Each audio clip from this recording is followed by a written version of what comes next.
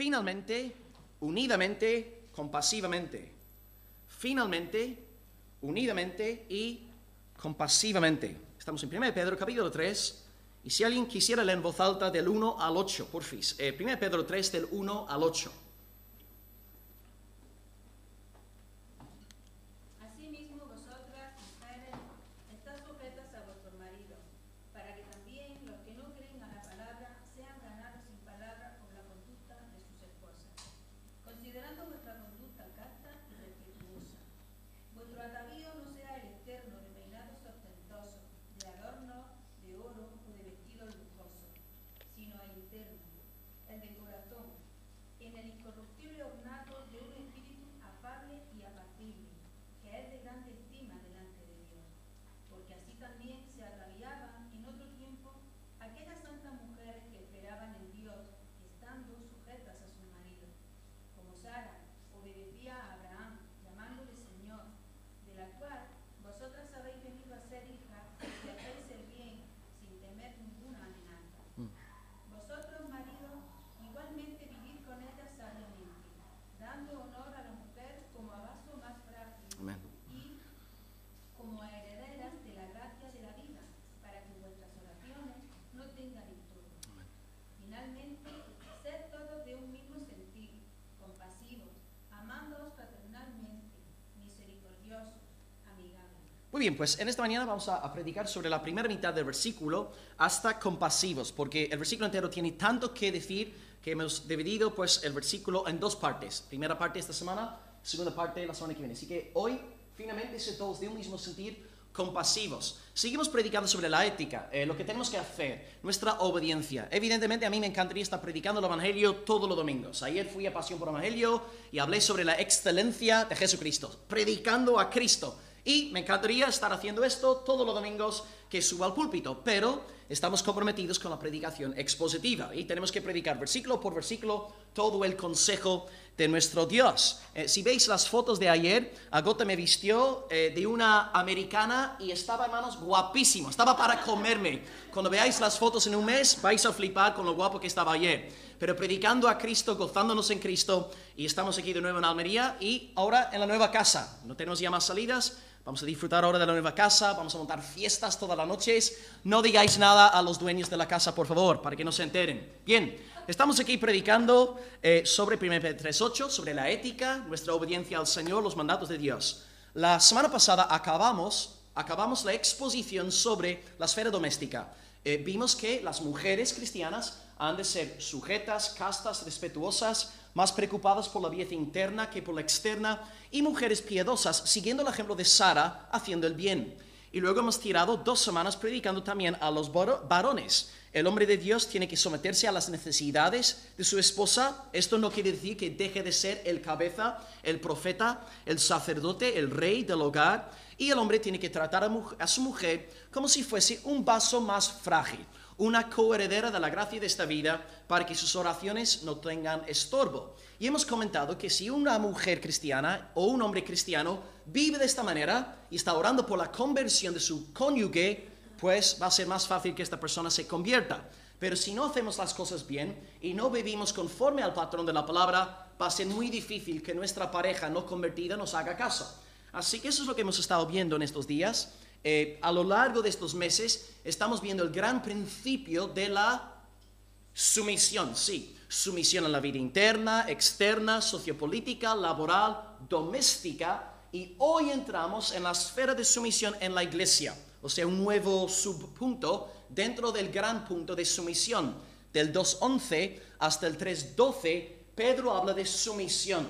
Así que Pedro habla de una forma ordenada. Y hoy vamos a hablar sobre sumisión en la esfera de la congregación local, dividiendo el texto en los siguientes tres puntos para los que estáis tomando apuntes. Primer punto en esta mañana, eh, finalmente. Finalmente. Número dos, unidamente, unidamente. Sed todos de un mismo sentir, unidamente.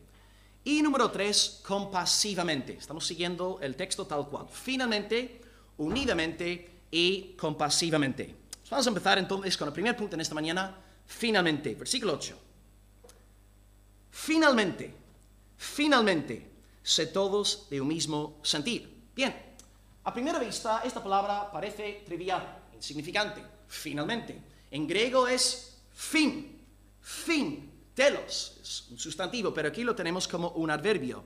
Pedro está cerrando una sección, está cerrando un hilo de pensamiento. Usamos la palabra finalmente casi todos los días, ¿no? Yo estaba ayer en Mercadona haciendo las compras, no encontraba la cartera y finalmente apareció en la bolsa de Encarna.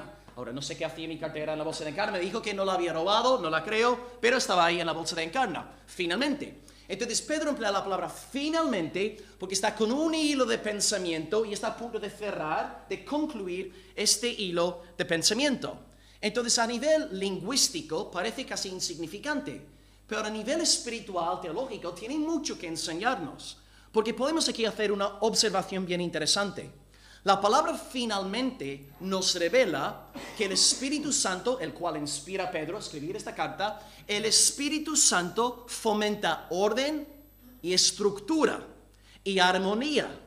El Espíritu Santo no anima a Pedro a escribir un versículo sobre un tema, otro versículo sobre otro tema y luego cinco versículos sobre un tema totalmente sin relación con los otros dos temas hay un hilo de pensamiento. El Espíritu Santo inspira a Pedro y hay coherencia, hay, hay lógica, hay una, hay una armonía, una simetría perfecta del Espíritu Santo de Dios. Dios no está en contra de la estructura ni en contra del orden.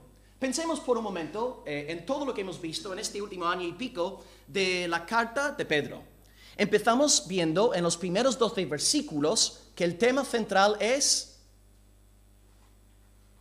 sí, el Evangelio, 1 al 12. Lo que el Padre, el Hijo, el Espíritu Santo han efectuado por amor a su pueblo. El Evangelio.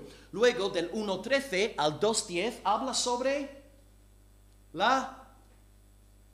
Si abrazas el Evangelio, alguien lo dijo. santificación. Evangelio, santificación. El que cree el Evangelio será santificado. Y ahora estamos en el tercer bloque. Todos estos meses hablando sobre una señal de la santificación, a saber, sumisión. Entonces, fijaros hermanos en el orden, la estructura de Pedro, o mejor dicho, del Espíritu Santo. Habla sobre el Evangelio, luego sobre la santificación, luego sobre la sumisión. Hay orden, hay estructura, hay coherencia. El Espíritu Santo entonces no promueve el caos ni el desorden, sino la estructura. Así que vemos aquí claramente una gran verdad, que Dios quiere que vivamos vidas ordenadas por medio del poder del Espíritu Santo. Así que Pedro, según la estructura de su carta y según este hilo de pensamiento, nos revela que hay orden cuando el Espíritu Santo está obrando. Entonces, hermano, para que tú seas guiado por el Espíritu Santo, tienes que tener una vida ordenada, una vida personal en orden. Eh, hay personas que viven en caos, en desorden, no se someten a nada ni a nadie, pero dicen que, oh, yo soy guiado por el Espíritu Santo. No, no puedes bautizar tu pecado en el nombre del Espíritu Santo. El otro día leí de una mujer que literalmente no se levanta de la cama por la mañana a no ser que el Espíritu Santo le diga que se levanta de la cama. Bautizando la pereza en el nombre del Señor. Y yo me pregunto, yo me pregunto, a ver, esta mujer cuando está reventada, hecha polvo por la noche, ¿acaso necesita una palabra del Espíritu Santo para acostarse? No, hay orden, hay coherencia, hay estructura, hay, hay, belleza en la vida de una persona sometida al Espíritu Santo. Mire lo que estaba pasando en la iglesia Circo, la iglesia de Corinto. Y Pablo dice, no, tiene que reprender a los corintios porque están obrando de una forma falsa. Y él tiene que decirles, Dios no es autor de confusión, sino de paz. Cuando el Espíritu Santo está obrando hay orden, hay estructura, hay paz, todo se hace decentemente. Entonces Pablo y los corintios tenían dos perspectivas diferentes en cuanto a la obra del Espíritu Santo. Los corintios pensaban que lo espiritual era eh, entrar en un, eh, eh, un estado de éxtasis constante, frenéticos, y Pablo dice no, cuando el Espíritu Santo está obrando de verdad, hay orden, hay estructura, Dios está siendo glorificado a través de esto. Y Pablo dice, mira, eh, procurad profetizar en la congregación, no impidáis el hablar en otras lenguas, pero hágase todo decentemente y con orden. Diciendo a los corintios, no está mal profetizar, no está mal hablar en otras lenguas, pero hay que hacer todo decentemente y con orden. Y todo esto nos hace volver al principio, en Génesis capítulo 1, y vemos que Dios crea todo en el principio, y de repente en versículo 2, alguien está moviéndose sobre la faz de las aguas. ¿Quién es? El Espíritu Santo. Ah, Hay desorden, hay tinieblas sobre la faz del abismo, y de repente Dios empieza a crear a través de su palabra, a través de su Espíritu, y hay orden hay estructura, y dice Génesis 1.31, y aquí Dios vio todo lo que había creado y era bueno, Tov, Tov en gran manera, Tov significa bello, precioso, eh, ordenado, estructurado. La implicación entonces de este adverbio finamente para nosotros es que si vivimos de una forma desordenada, caótica, no estamos siendo guiados por el Espíritu Santo de Dios. Y como congregación local, si es una congregación caótica, desorganizada, no estamos como congregación siendo dirigidas, dirigidos por el Espíritu Santo de Dios. Un ejemplo es el eh, hermano, bueno, sí, hermano que estuvo endemoniado eh, de Gadara. Y de repente Cristo le libra del demonio. Estaba poseído por el demonio que tenía legión, ¿no? Cinco o seis mil demonios ahí metidos dentro, impresionante.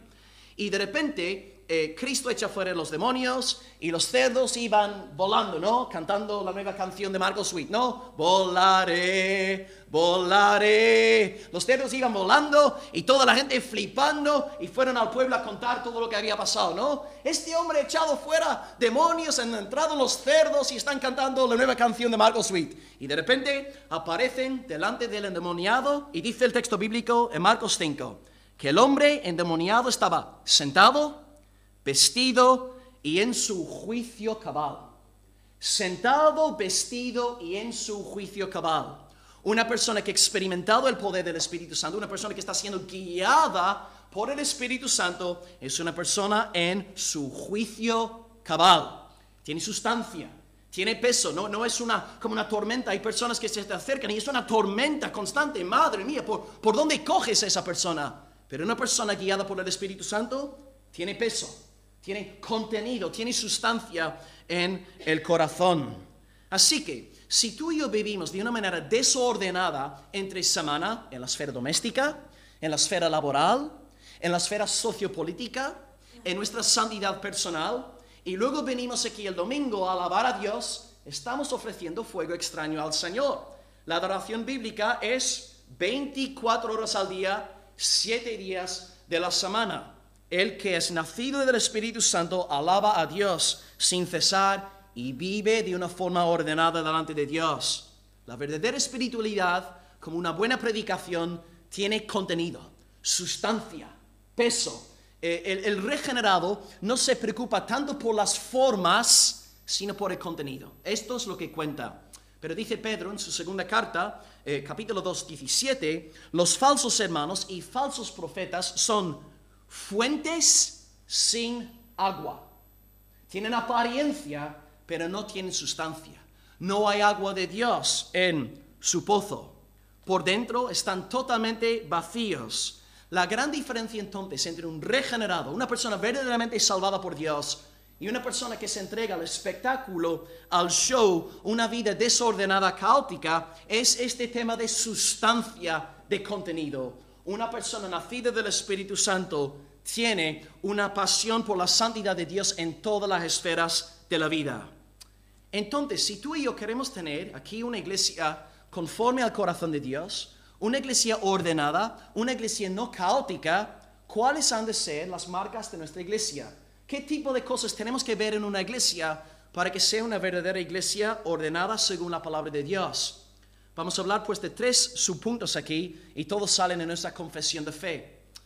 Uno, una verdadera iglesia, una iglesia saludable es una iglesia que adora a Dios en primer lugar. Adoración a Dios. La verdadera iglesia adora a Dios. Por esta razón, cantamos canciones aquí. Las canciones se centran en Dios. Por esta razón, oramos en esta iglesia y nuestras oraciones se centran en Dios. Por esta razón predicamos en esta iglesia y predicamos centrándonos en la palabra de Dios, no en la opinión de un norirlandés. Predicamos, oramos y cantamos para la gloria y la alabanza del Señor. Ahora bien, no está mal cantar de vez en cuando acerca de nosotros, porque los salmos de vez en cuando hablan sobre nosotros, nuestras necesidades, pero el eje central es la gloria de Dios. No está mal orar por nuestras necesidades. El Padre nuestro, tenemos un ejemplo claro, tres peticiones personales. Pero en el Padre nuestro, antes de pedir por nuestro pan diario, antes de pedir para que podamos perdonar y ser perdonados, antes de pedir para que no seamos llevados a la tentación, la oración empieza con la gloria de Dios. Santificado sea tu nombre. Venga a nosotros tu reino. Hágase tu voluntad. Empezamos con la gloria de Dios. No está mal orar por nosotros, pero la prioridad, la preeminencia a Dios.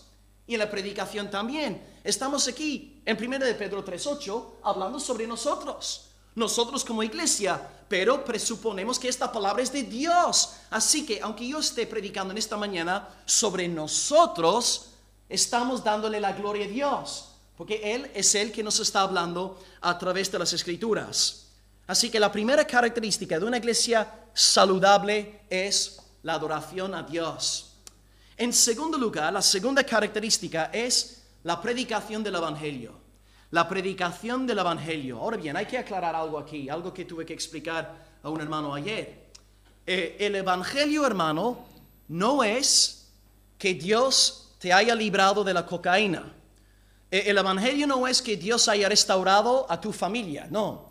El Evangelio no es que Dios te haya dado mucho gozo y paz, no, este no es el Evangelio. Tal vez son los efectos del Evangelio.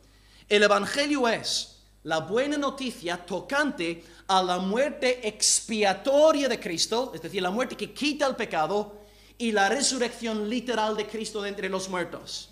Y todos aquellos que creen este mensaje, arrepintiéndose del pecado, serán salvados eternamente. Este es el anuncio del Evangelio. Y por lo tanto, en la clase de membresía, en la entrevista en diciembre-enero, voy a tener que preguntaros a todos, ¿podéis hermanos en 30 segundos definirme el Evangelio? Porque para ser miembro de una iglesia presuponemos un conocimiento del Evangelio, un claro entendimiento de qué es el Evangelio. El Evangelio se trata de lo que Cristo ha hecho por amor a nosotros. Eh, por lo tanto, escuché esta frase, creo que fue el viernes por la noche en la conferencia o, el sábado por la mañana y oh, tenía el corazón reventado. Y, un hermano hablando de vivir el Evangelio. Hay que vivir el Evangelio. Entiendo la intención eh, con la cual el hermano o la hermana dijo aquella frase en la reunión ahí en Madrid, pero es incorrecta. Eh, no podemos vivir el Evangelio. Una persona vivió el Evangelio, el Señor Jesucristo. El único que murió y resucitó por amor a los pecadores es Jesucristo. Entiendo lo que la persona quiere decir con la expresión hay que vivir el Evangelio, pero lo más correcto bíblicamente es decir, hay que vivir de una manera que adorne el Evangelio, que haga atractivo el Evangelio, pero definitivamente tú y yo no podemos vivir el Evangelio. Pero es una frase que está de moda en el mundo evangélico y la usamos sin pensar. Es una tradición evangélica. El Evangelio es Cristo. Ahora bien, predicamos el Evangelio en la medida de lo posible todas las semanas y siempre intento predicaros el Evangelio en algún momento del sermón. Acabo de hacerlo, ¿no? Primero de Pedro 3.8 no es Evangelio, es ética, obediencia, es un mandato.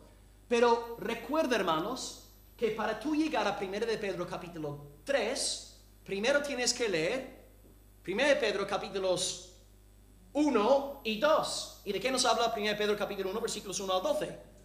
P, Evangelio. Pedro no empieza su carta predicando ética, ley, eh, mandamientos. Empieza predicando el Evangelio, presuponiendo que aquellos que están escuchando aquí la predicación del 3.8 sean personas que han abrazado el Evangelio. Así que, claro, yo en esta mañana no estoy predicando el Evangelio así tal cual, pero el sermón presupone fe en el Evangelio. Dice el segundo versículo de 1 de Pedro, capítulo 1, a los elegidos, a los escogidos. Pedro está escribiendo ética a los que ya han recibido el Evangelio de Dios. Y ya que tú y yo, por naturaleza, nos creemos tanto y nos creemos tan buenos, tan merecedores de la salvación eterna, nos tenemos que predicar el Evangelio todos los días. Toda la tarde, todas las noches, predicarnos el Evangelio, que es lo que el Hijo de Dios ha hecho por amor a nosotros. No merecemos la salvación y aunque llevemos 15, 25, 35 años en el Evangelio, no merecemos nada de parte de Dios. Tenemos que predicarnos el Evangelio de libre salvación todos los días para no caer en orgullo espiritual.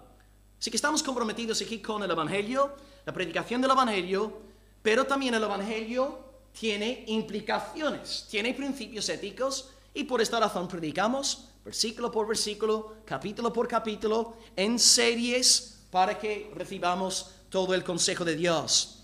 Porque estoy convencido de que Dios nos va a santificar a través de la verdad. Eh, la oración de Cristo, ¿no? Juan 17, 17. Eh, Padre, santifícalos en tu verdad. Tu palabra es verdad. No santifica al pueblo a través de la elocuencia del pastor o el carisma del predicador, no. Santifícalos a través de tu verdad. Y si queremos ver una iglesia fuerte, santificada, hay que predicar la palabra de Dios y todo el consejo del Señor. Así que uno, una iglesia saludable adora a Dios. Dos, una iglesia saludable está entregada a la predicación de la palabra de Dios. Tristemente, hermanos, lo más difícil para encontrar hoy día en España es encontrar una iglesia donde se predica fielmente la palabra de Dios semana tras semana. Es, es terrible la realidad que hay fuera. Y número tres, la tercera característica es la celebración de las ordenanzas. Reconocemos dos según el mandato de Jesucristo, el bautismo y la Santa Cena. Bautismo y la Santa Cena. El bautismo y la Santa Cena nos hablan sobre el Evangelio. Son predicaciones visibles. Hoy os estoy predicando al oído, pero cuando tomamos los elementos vemos, vemos la realidad. Dios nos ayuda en nuestra debilidad. Y fíjate en la sabiduría, en la ternura de Dios que incluso en aquellas iglesias que se han desviado totalmente de la palabra, están predicando otro evangelio, siguen celebrando las ordenanzas. Dios sigue predicando a aquellas personas en la iglesia a través de las ordenanzas, aunque los pastores se hayan apostatado de la fe. Cuán tierno y cuán sabio es Dios. El bautismo nos habla de la muerte, sepultura y resurrección del Salvador. Miguel y Carolina dentro de poco los vamos a mojar en representación del Evangelio de Jesucristo. En la Santa Cena estamos recordando la muerte expiatoria del Señor, que quitó nuestros pecados y anunciando su segunda venida. Haced esto en memoria de mí todas las veces que lo viereis hasta que yo venga. En efecto, entonces estamos recordando el Evangelio y recordando la segunda venida. Las ordenanzas son una predicación del Evangelio. Así que el bautismo es el rito inicial por medio del bautismo entramos en pacto con una iglesia local y una vez bautizados podemos participar de la bendición de la Santa Cena. Eh, participamos de la Santa Cena como un privilegio que pertenece a los miembros de una determinada iglesia local. La iglesia de Roma, la iglesia de Corinto, la iglesia de, de Atenas, del sitio que fuese. Si tú amas a Dios, amarás a su esposa. Y si entras en pacto con Dios, entras en pacto con su esposa. Y por lo tanto, antes de disfrutar de los beneficios de una iglesia local, tiene que haber un pacto en medio. Lo que tú, ya, lo que tú y yo llamamos hoy día membresía de la iglesia. Eh, mira, un ejemplo, el matrimonio. Ahí está mi esposa, yo disfruto de una relación matrimonial con ella. Pero no podía disfrutar de este matrimonio con ella antes de entrar en pacto público con ella. Y una vez yo juro lealtad de ella, yo estoy comprometido con esta mujer hasta el fin, Luego tengo el derecho delante de Dios de disfrutar de todas las bendiciones que me ofrece el matrimonio. Pero primero hay un pacto en medio. Primero hay un compromiso. Y por esta razón nosotros creemos que hay que ofrecer la Santa Cena a los que están en comunión con esta iglesia local, comprometidos por medio de un pacto. O, bueno, en términos contemporáneos, membresía de la iglesia, que viene a ser exactamente lo mismo. Entonces, estas señales son marcas de iglesias saludables. Y de esta forma aclaramos claramente quién es del Señor y quién no es del Señor. Adoración a Dios, predicación del Evangelio y tercer lugar la celebración de las ordenanzas. Finalmente, finalmente, una iglesia en orden es una iglesia bajo la bendición del Espíritu Santo. Y una vida personal en orden es una vida bajo la bendición del Espíritu Santo. No usemos el Espíritu Santo para justificar una vida de caos. Pues pasamos al segundo punto eh, en esta mañana, unidamente. No sé si esta palabra existe. Eh, ¿Unidamente es una palabra? Bueno, si no existe, da igual, ya, sabéis a lo que aludo. Unidamente, quería que fuese bonito, ¿no? Poético la estructura de la, del bosquejo. Unidamente. Dice el versículo 8. Finalmente, sed todos de un mismo sentir. Un mismo sentir. La traducción literal del griego eh, se le lee como pensad lo mismo, tened la misma mentalidad, sed de la misma mente. Entonces, en términos nuestros, hermanos, pensad lo mismo en cuanto a la sumisión. Pedro está hablando aquí durante meses sobre la sumisión y ahora dice, pensad lo mismo. Pensad, hermanos, lo mismo acerca de la sumisión. Hay que estar sometidos los unos a los otros, ¿no? Eh, Loli siempre está citando, ¿no? Filipenses 2, 3, eh, ¿no? Eh, cada uno estimando a los demás como superiores a él mismo. Entonces yo veo Esperanza y tengo que pensar, Esperanza es superior a Will. Y me resulta mucho más fácil seguir Esperanza si yo veo Esperanza como superior a, a mí. Entonces siempre tenemos que pensar que los demás son más importantes, superiores, mayores que nosotros. Así que que estemos unidos entonces en la humildad, en la sumisión, y dice Efesios 5, eh, 21, someteos los unos a los otros. Todos tenemos que someternos los unos a los otros en el temor del Señor. Bien, cuando hay sumisión en una, vida, en una iglesia local, eh, nos libramos de quejas, nos libramos de murmuraciones, nos, nos libramos de malos rollos, nos libramos de, de, palabras falsas y acusaciones y hay armonía, hay, hay amor, hay bendición en nuestro medio. Pero para poder someternos unos a otros y para poder tener esta misma mentalidad, hace falta que nos congreguemos. Hace falta que estemos juntos. Aquí tengo una lista que Frank va a poneros ahora de 10 cosas, de nuevo, son 10 cosas. Podría haber hecho una lista mucho más larga, ¿no? Pero por amor al tiempo, 10. Cosas que no podemos obedecer si no estamos comprometidos a congregarnos juntos regularmente. Aquí tenéis los versículos que apoyan la lista. Eh, ¿Lo tienes ahí, Frank? En primer lugar, si no andamos juntos como congregación, no podemos contribuir a la paz y a la unidad. Si no estamos juntos, si no andamos juntos como familia, como congregación, ¿cómo podemos promocionar unidad en el seno de la congregación? Número dos, no podemos gozarnos con los que se gozan y llorar con los que lloran, ¿no? El otro día Ariel me dijo que tenía no meses de trabajo eh, para 2018. ¡Wow! Gloria a Dios, te entra un gozo, es mi hermano, está siendo prosperado y te entra una alegría en el alma. Y luego otros hermanos que están sufriendo, tienen peleas en la familia, te cuentan cosas y mira, lloras con ellos. Pero de nuevo recuerda que cuando Pedro escribió su carta, no existía WhatsApp, no existía Messenger, no existía eh, Facebook, él presupone que los hermanos estén unidos juntos aprendiendo estas cosas. No podemos gozarnos con los que se gozan si no estamos aquí unidos. Número tres, ¿cómo vamos a sobrellevar las cargas los unos de nosotros si no nos estamos congregando regularmente? Para yo poder entender cuáles son las cargas de mi hermana encarna, tengo que andar con ella, tengo que conocerla, hablar con ella, hacerle caso y luego poder llevar las cargas de la querida hermana. Número cuatro, bueno, hay Loli, ¿no? Punto cuatro, Loli. La oración de Loli, ¿no? Loli. Punto cuatro, Loli. Cinco. Amonestar a los que desobedecen.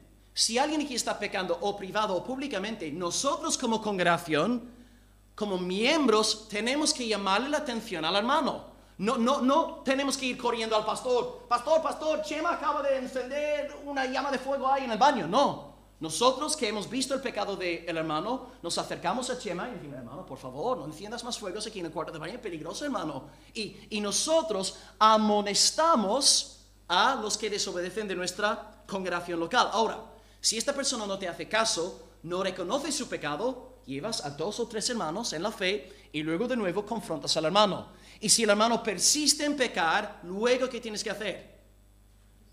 Luego la iglesia luego comentarlo a la iglesia. Entonces, si tú ves una persona en esta congregación haciendo algo malo o desobediente, por favor, no, no, no, no, no me llames a mí. No, no llames ni a Paco ni a Nicolás. Tú primero ves a esta persona, le hablas las cosas con transparencia cara a cara, le llamas la atención y a ver, ganarás a tu hermano. Y si no, dos o tres y luego a la iglesia para que velemos por la unidad de la iglesia. De nuevo, esto no puede pasar si no estamos juntos. Número seis, hacer todo para edificación. Si tú no te congregas con nosotros, ¿cómo puedes edificar al pueblo del Señor? Es imposible. Entonces, 1 Corintios 14 eh, está diciendo que para poder edificar a la iglesia, estamos dando por sentado una membresía, una congregación unida y nos vemos a menudo con el fin de edificarnos. 7. Soportar las flaquezas de los débiles, no agradarnos a nosotros mismos. De nuevo, cosas que no podemos hacer si nunca nos congregamos los unos con los otros. 8.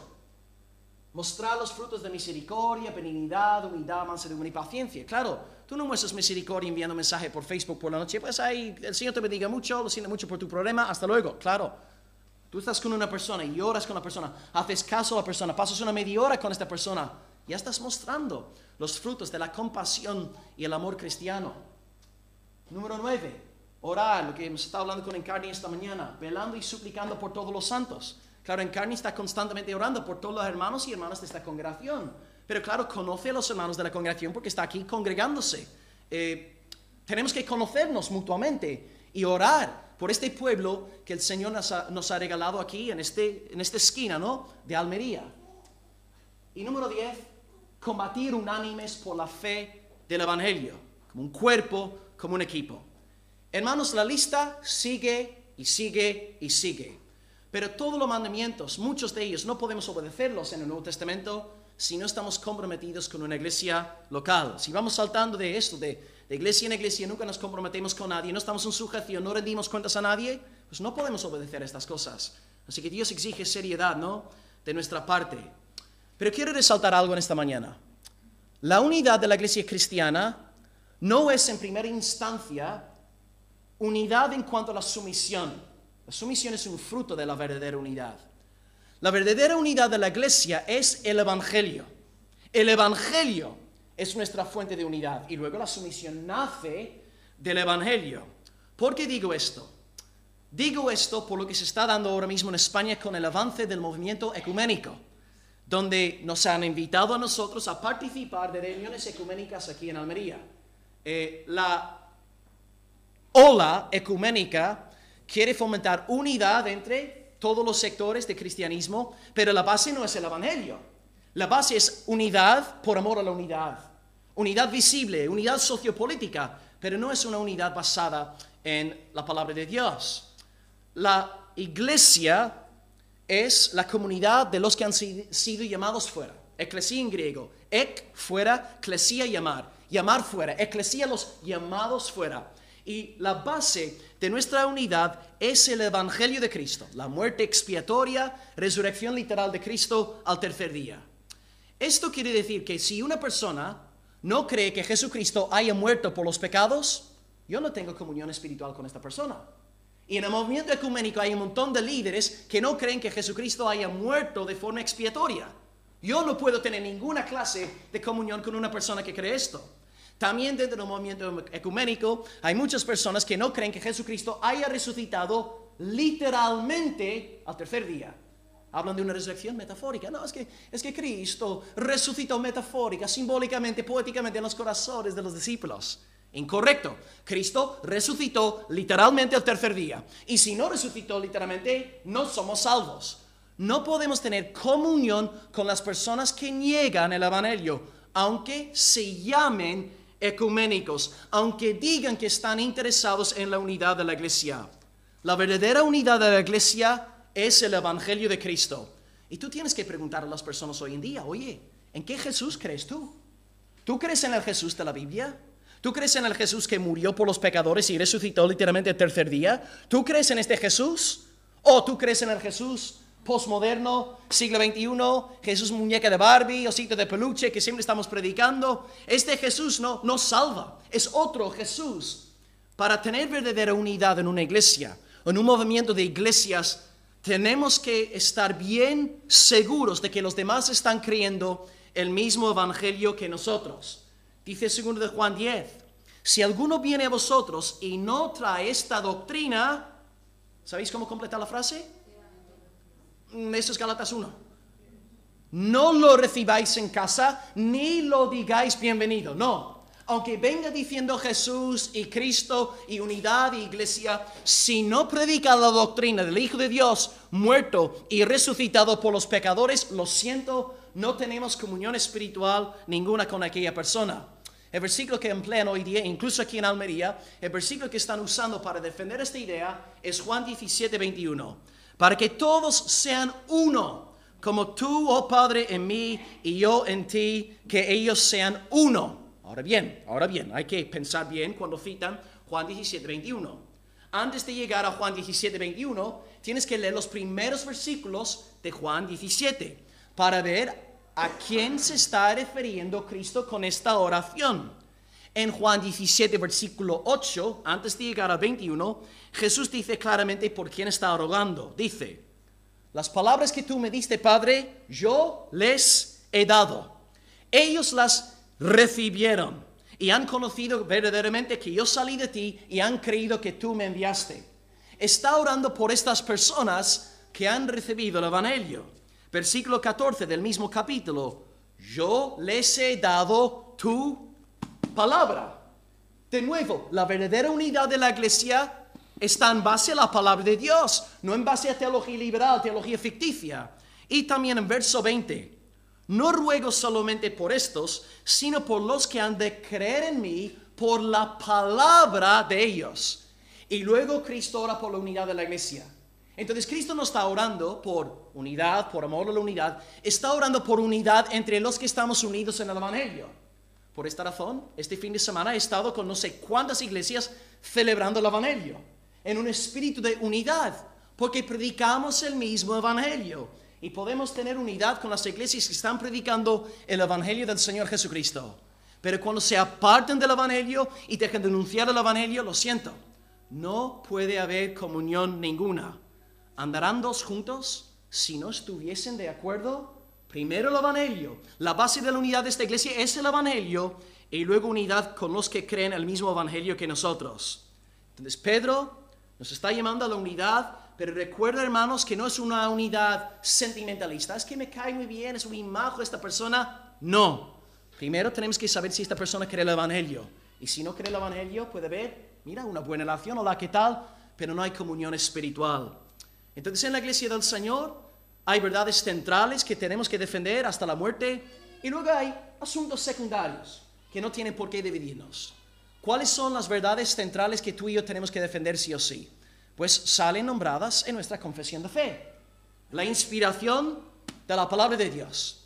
Algunos teólogos liberales están diciendo hoy en día que la Biblia es un libro de percepciones humanas. Tiene contradicciones, mentiras, leyendas y mitos. No, no podemos tener comunión con tal persona. Número dos, creemos en el Dios Trino, Padre, Hijo, Espíritu Santo, iguales en poder y gloria. Número tres, creemos en la maldad del ser humano. El hombre fue creado recto e inocente, pero por la caída llevó a la humanidad a un estado de pecado y de condenación eterna. Creemos también en la salvación solamente por Jesucristo. Creemos que Jesucristo, por ser el único Dios hombre y en virtud de su encarnación, obediencia, resurrección y ascensión, es el único mediador entre Dios y los pecadores. Creemos también en la vida eterna para los justificados y la condenación para los condenados. Y si nos movemos en este marco, tenemos unidad con, muchos hermanos en la fe. Pero en cuanto a asuntos secundarios, puede haber un margen de libertad. Mira, tú piensas que hay que celebrar la Santa Cena todos los domingos. Y bueno, otros piensan una vez cada mes, otros dicen cuatro veces al año, como en algunas iglesias presbiterianas. No vamos a perder la amistad por un asunto así. Tú piensas que hay que usar una guitarra en la iglesia. Otro dice, no, no hay que usar instrumentos en la iglesia. Vale, perfecto. Pero no vamos a dividirnos en cuanto a estos asuntos secundarios. Escatología. Tú eres pre-milenialista, post-milenialista, a-milenialista. Mira, puedes tener la perspectiva que sea, pero no voy a perder mi amistad en el Evangelio sobre este asunto. Entonces tenemos que dividir como iglesia y ser maduros, distinguir cuidadosamente entre verdades centrales no negociables y luego esta esfera de asuntos secundarios donde sí puede haber libertad. Como dijo Agustín, ¿no? En lo esencial, unidad. En lo no esencial, pues, libertad. Y en todo, caridad, amor. Así que que, que seamos maduros. Los reformadores emplearon una palabra, adiáfora, adiáfora en latín, que significa cosas de segunda importancia. Con tal de que tú y yo estemos unidos en lo central, en las grandes verdades evangélicas, puede haber un margen de espacio en cuanto a asuntos secundarios. Así que que entendamos siempre que la unidad de la iglesia no es humildad, sino el evangelio. Y este evangelio, estas verdades centrales que hemos nombrado, produce armonía entre los que ya somos de la familia de la fe. Así que sí, que andemos con cuidado y si te invitan, hermano, a una reunión ecuménica el año que viene, pues ya sabéis lo que tenéis que hacer. Eh, por amor al Evangelio, por amor al Señor, quedarte en casa, comer algo, lavarte el pelo. No vayas, porque no es unidad en Cristo. Y finalmente, número tres, acabamos hoy con el tercer punto, compasivamente. De nuevo, no sé si es una palabra. ¿Sí? Ah, gloria a Dios, menos mal. Por lo menos tenemos dos palabras correctas hoy. ¿Sí? También es una palabra. Oh, aleluya. Fui inspirado cuando redacté el bosquejo. Compasivamente. Eh, finalmente, unidamente. En primer lugar, hemos hablado de la estructura en una vida de una persona con el Espíritu. En segundo lugar, unidamente, nuestra unidad es el Evangelio. Y luego, en base al Evangelio, humildad. Nos sometemos unos a otros. Y número tres, compasivamente. Compasivamente. Eh, finalmente, ser todos de un mismo sentir, compasivos. Aquí lo dejamos, pues hasta la semana que viene compasivamente. Bien, en el segundo punto acabamos de nombrar varias doctrinas que tú y yo tenemos que creer sí o sí. Inspiración de la Biblia, Dios trino, doble naturaleza de Cristo, salvación por gracia a través de la fe, salvación eterna, condenación eterna. Bien, pero el Espíritu Santo no se contenta con dirigirse a nuestro intelecto en cuanto a lo que tenemos que creer, sino que también quiere tocar nuestro corazón.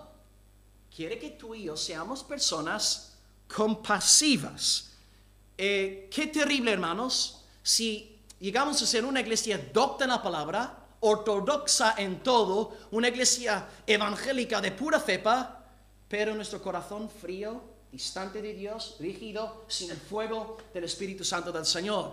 Necesitamos casar las dos realidades.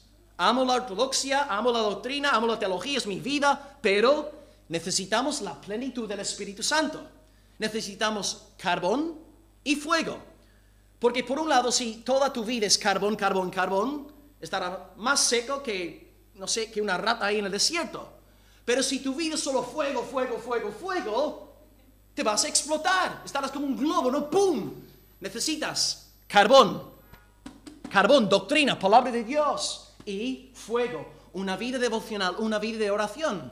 Por esto en la iglesia también queremos un cultos públicos de oración para derramar nuestro corazón delante del Señor y esperamos que los hermanos estemos orando entre semana al Señor.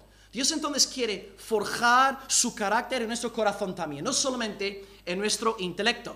Por ejemplo, según la profecía del nuevo pacto, en Ezequiel 36, 26, Dios iba a quitar nuestro corazón de piedra y concedernos un corazón de carne. Ve, el creyente regenerado tiene un corazón suave, tierno, amoroso, compasivo, preocupándose pues por los demás con misericordia y compasión.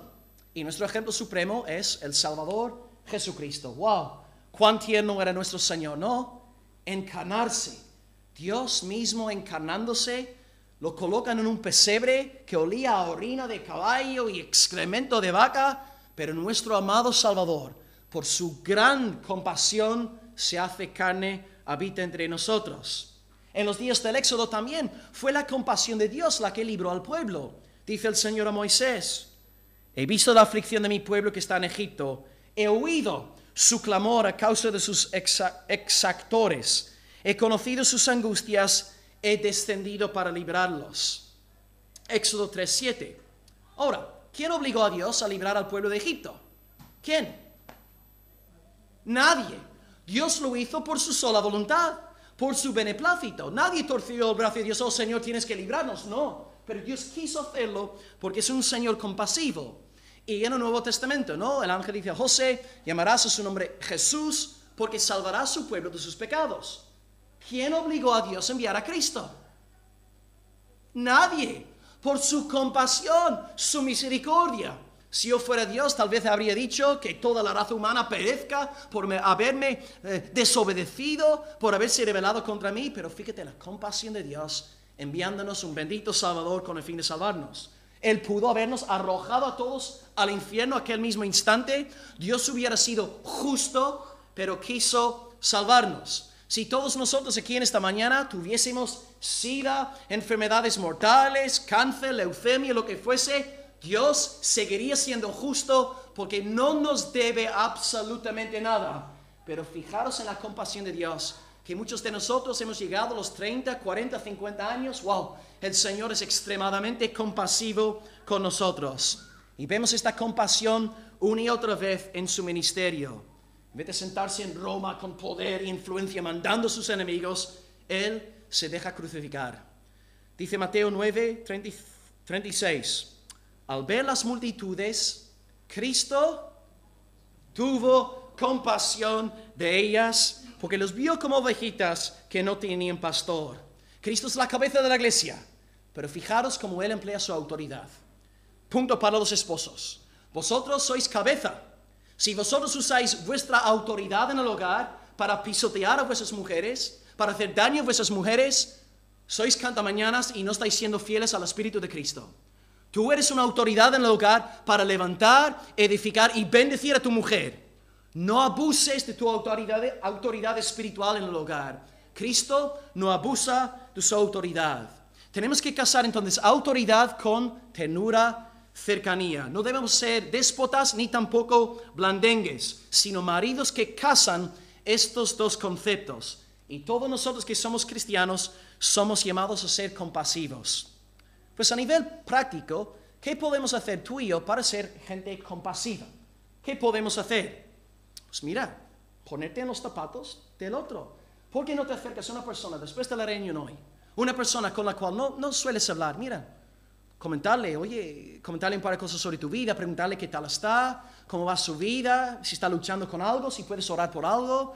Eh, hermano, el simple hecho de hacer caso a una persona es un acto de compasión.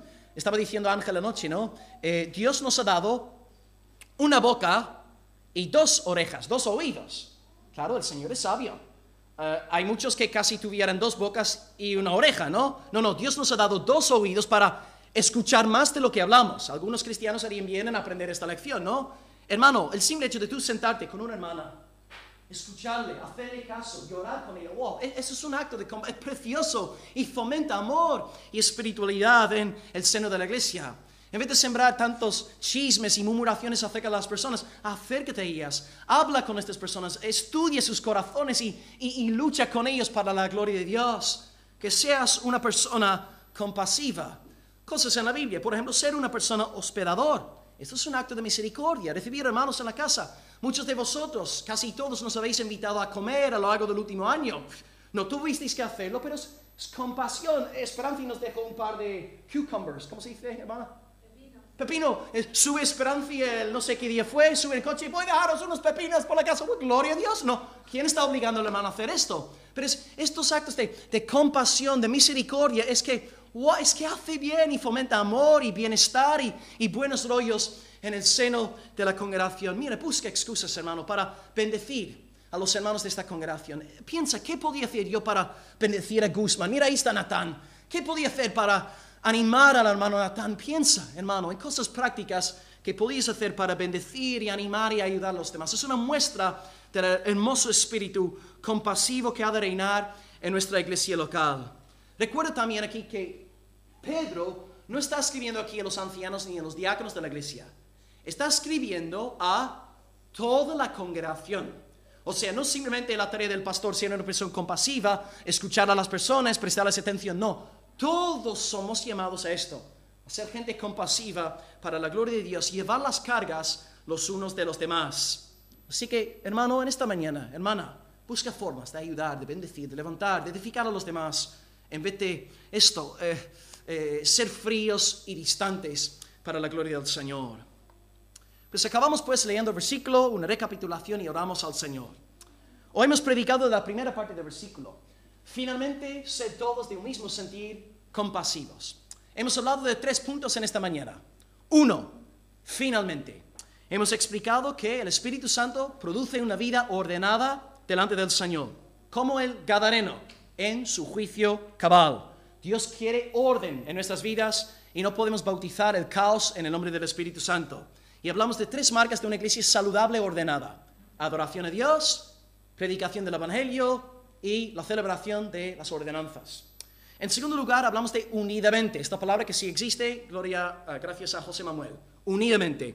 Y vimos que la base de la unidad cristiana es el Evangelio. Y no podemos tener comunión espiritual con los que no profesan el mismo evangelio que nosotros. Pero este evangelio entonces engendra humildad entre los cristianos y nos sometemos los unos a los otros mutuamente, siempre presuponiendo el evangelio. Clave. La base de la, la base de la unidad de la iglesia no es humildad, sino el evangelio. Y número tres, compasivamente. Hemos hablado del ejemplo del Éxodo, el ejemplo del Salvador Jesucristo, su precioso espíritu tierno, compasivo. Y también Dios nos está llamando como iglesia para ser compasivos, misericordiosos, haciendo caso a los demás, sufriendo con los que sufren, eh, poniéndonos en lugar del otro, ayudando en lo que sea para la gloria del Señor. Pues andemos pues hermanos en este espíritu, que seamos ordenados, que andemos unidos en el Espíritu Santo y que seamos compasivos para la gloria del Señor. Oremos a Dios pues en esta mañana dándole gracias por la palabra expuesta.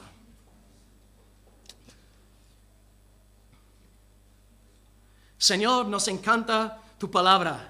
Señor, tu palabra es suficiente para todas las áreas de nuestra vida. Señor, gracias por estos pasajes que nos hablan sobre la ética también. Y entendemos, Señor, que predicamos de estas cosas porque hemos previamente creído el Evangelio. Señor, entendemos que ética sin Cristo es muerte, es legalismo, nos estanca. Pero cuando somos regenerados, tu ley está colocada en nuestro corazón y nos da gusto y, y alegría seguirte, Señor. En base a lo predicado en esta mañana, queremos pedirte por tres cosas, Señor. En primer lugar, en cuanto a la palabra finalmente, te pedimos, Padre, que llevemos vidas ordenadas. Señor, como hemos comentado en esta mañana, si vivimos en caos entre semana, en nuestra vida personal, en nuestra vida doméstica, sociopolítica, laboral, y luego venimos aquí el domingo a adorar, es fuego extraño, Padre. Danos una vida, Señor, ordenada, una vida sujeta al Espíritu Santo. No permitas que blasfememos el nombre del Espíritu de Dios diciendo, no, no tengo que someterme a nadie, no tengo que amar a nadie, no tengo que ser fiel a nadie, porque yo soy solamente guiado por el Espíritu Santo. Ayúdanos a entender que cuando el Espíritu de verdad se está moviendo, hay orden, hay sumisión, hay estructura, armonía, simetría. Oh Señor, produce esto en nosotros a nivel personal y también a nivel eclesial. Padre, mi deseo como pastor, y sé que muchos aquí en la congregación deseamos una iglesia conforme a tu patrón bíblico. Por eso estamos tomando los pasos que llevamos tomando en estos meses, Señor. Y te pedimos, Señor, que tú sabes que queremos agradarte con esto, Señor. No, no queremos hacer estas cosas por, por caprichos nuestros. Queremos hacer las cosas bien. Queremos glorificarte por medio de la obediencia a tu palabra. Y estamos seguros, Padre, de que si te adoramos, si predicamos el Evangelio, si celebramos las ordenanzas correctamente, Señor, tú vas a bendecirnos, fortalecernos, sostener la obra aquí de esta iglesia local. Oh Dios, danos orden en nuestra vida personal y danos orden en esta iglesia para el avance de tu nombre y para poder dar un buen testimonio aquí en la calle, Señor, las calles de Almería y más allá. En segundo lugar, Padre, oramos por el tema de la unidad de la iglesia. Sí, Señor, hemos predicado sobre la humildad, pero entendemos en primer lugar que la base de la unidad cristiana no es en sí la humildad, sino el Evangelio que tu siervo nos predicó en los primeros doce versículos. Señor, mi oración es para que cada persona aquí conozca, entienda y ame el Evangelio, el Evangelio de la muerte expiatoria y la resurrección literal de Jesucristo de entre los muertos. Señor, entendemos que hay gente aquí congregándose que, que no es salva, no es salva todavía, y te pedimos por una obra poderosa de regeneración, que hoy sea un día de salvación, que tú hagas que las escamas caigan de sus ojos para que vean a Cristo como todo suficiente, Salvador, poderoso, Rey, Mesías, omnipotente. Dios obra a través de tu palabra hoy y aplica el Evangelio a los muertos para que anden como Lázaro cuando salió de la tumba. Y Señor, nosotros que est- estamos ya unidos en el Evangelio, te pedimos por un fuerte, poderoso espíritu de humildad. Oh, que cada uno estime a los demás como superiores a Él, a ella misma, Señor. Oh, pedimos, Señor, por una iglesia donde, donde vemos a los demás como superiores, más importantes, mayores que nosotros. Guárdanos del chisme. Guárdanos, Señor, de los pecados de la lengua que son tan frecuentes aquí en Europa, en el occidente. Señor, en vez de sembrar malos rollos, úsanos para bendecir y someternos unos a otros en el amor a Dios y edificar y bendecir y levantar. Para que haya un hermoso espíritu de amor aquí, Señor, en el seno de esta amada asamblea. Y en tercer lugar, Señor, en cuanto a la palabra compasivo, Señor, oh, empezamos dándote a ti gracias por tu compasión en Cristo. Gracias por enviarnos a un Salvador.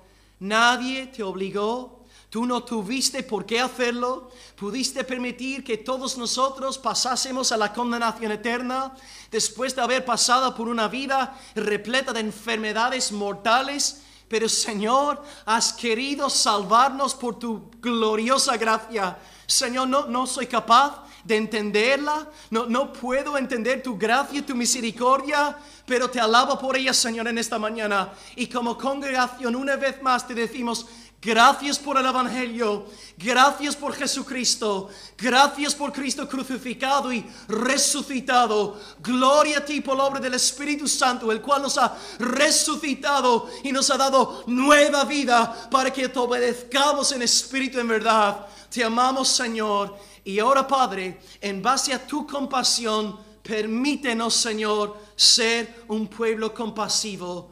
Señor, quita de nosotros eh, frialdad espiritual, distancia espiritual y fomenta lazos de amor tiernos, cercanos aquí en esta iglesia. Gracias Señor por el amor que has concedido en nuestra congregación. Sigue aumentándolo Señor. Sigue haciendo que crezcamos en amor hasta la plenitud de la estatura de Jesucristo. Te amamos, Señor. Seguimos orando en tu nombre en esta mañana, dándote gracias por todo en Cristo. Amén.